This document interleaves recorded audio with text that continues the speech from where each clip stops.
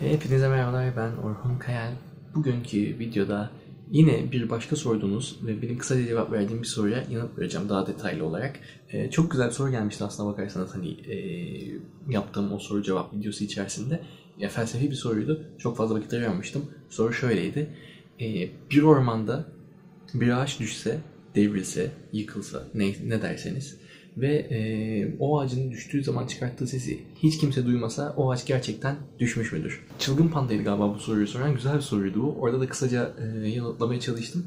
Ama üzerine aslına bakarsanız e, oldukça uzun süre konuşulabilecek bir e, soru bu. Çok da uzun süre konuşmayacağım tabii ki birkaç dakika konuşup e, geçeceğim. Ama üzerine değinmek istediğim bir takım şeyler var. Şimdi aslında bu soru felsefede çok da tartışılan, konuşulan bir soru. soru. Algıladığımızın düşündüğü bir dünya var mı vesaire falan gibi böyle derine mesela çok felsefe dersi vermeyeceğim aslında bakarsan. Ki zaten çok hakim olduğum bir konuda değil. Ben de e, aldığım hani daha önce öğrenciyken aldığım felsefe derslerinden hatırladığım kadarıyla biliyorum yani üzerine çok araştırma yapmadım ama severim genelde böyle konularda yani bu tip sorulara kafa yormayı, konuşmayı. O yüzden bu videoyu çekiyorum. Her neyse e, benim aslına bakarsanız hani herkesin yanıtı farklı. Bakış açısıyla alakalı. Bu filozoflar bile e, çok farklı yanıtlar veriyorlar. Ama bence o e, düşen ağacın sesinin duyup duyulmaması çok bir şey ifade etmiyor e, biz o sesi duymadık diye o ağaç düşmemiş olmuyor. E, buradan aslında benim bağlayacağım yer şu. Bu soruya özellikle yani bu sorunun felsefi e, çıkarımlarını yapacak değilim. Benim öyle bir zaten hani şeyim yok. Neydi onun adı? Bilgi birikimim yok. Onu yapabilecek e, eğitimim yok. Oradan ben daha böyle bir şeye bağlamak istiyorum. Bunun gerçek hayattaki karşılığına hani bağlamak istiyorum konuyu. E, o da şu aslına bakarsanız bizim gördüğümüzün dışında e, devam eden hayatlar var. Bizim gördüğümüzün dışında e, olan şeyler var. Yani misal biz görmüyoruz diye susuzluk, işte açlık ya da ne bileyim yoksulluk, sefalet bunlar hani cinayetler işte efendime söyleyeyim aklınıza da gelirse bunlar yok olmuş olmuyor. Ee, ve hatta yani hani tabii bilmediğiniz şeyi bilmediğiniz nereden bilebilirsiniz diye ayrı bir kısmı da var aslında o mevzunun ama onun o kadarına çok girmeyeceğim. Ee, siz yaşamadığınız, sizin yaşamadığınız dertleri yaşayan binlerce insan var. Hayatınızda duymadığınız dertleri yaşayan bir dünya insan var. Ee, mesela siz kedi seviyorsunuzdur ve dolayısıyla kedileri yani bir insanın kedi niye kedi sevmediğini hani çok temel basit basit e, bir örnekle anlamaya, anlatmaya çalışıyorum. E, insanların neden kedi sevmediğini anlayamıyorsunuzdur. Ama bu o kedileri sevmeyen, kedi sevmeyen insanların varlığını ortadan kaldırmıyor gibi bir konu bu. E, dolayısıyla ben gerçekten de e, en baştaki sorunun yanıtı olarak da orada bir e, ağaç düşmüşse biz onun sesini duymasak da düşmüş. E, biz farkında olmasak da insanlar e, pek çok sorunla boğuşmaya devam ediyor. Dünyanın üzerindeki dert bitmiyor e, konuyu oraya bağlayacağım. Son olarak da aslına bakarsanız bununla bağlantılı olarak e, bahsetmek istediğim bir diğer mevzu da hani e, şu. Evet e, bazen de hani gün içerisinde görmeyi reddettiğimiz, e, görmemeyi tercih ettiğimiz bir takım şeyler oluyor. E, yani ne bileyim mesela sokakta dilenen insanlar e, bugün çok yani farklı açılardan farklı farklı tartışmaya e, sebep olabilecek ve aslına bakarsanız insanlığımızı dahi sorgulatabilecek derecede e, değişik tepkiler verilen e, Suriyeli e, problemi.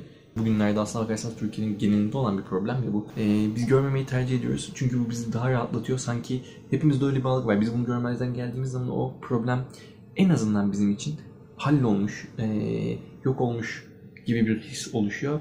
Ama Gelin görün ki bu durum öyle değil. Bu arada hani sizi yargılamak için söylemiyorum. Bakın işte görmezden geliyorsunuz ama bunlar var falan demeye getirmiyorum. Ben de yapıyorum bunu yani hani.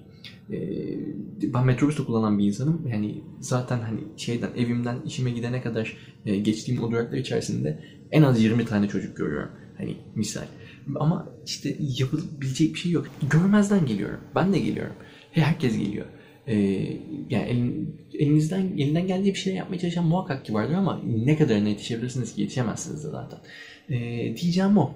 Buradan aslında tekrar toparlayarak sözü bitireyim. Videoyu da kapatalım. E, bir ormanda bir ağaç düşüyorsa o ağaç düşüyor arkadaşlar. Siz sesini duyun, duymayın. Açlık, sefalet, yoksulluk bunlar siz farkında olsanız da var, olmasanız da var. Gözünüzün önünde çocuklar dileniyor. İşte efendime söyleyeyim mendil satmaya çalışıyor e, olabilirler.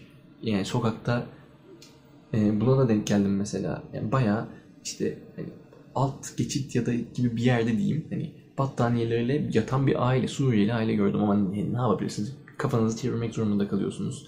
Hani onların da üzülseniz de ee, ve hani bu konuda gerçekten bir şey yapması gereken bu devlet de olabilir ya da işte hani e, ki benim görüşüme göre devlet e, bir şey yapmıyor.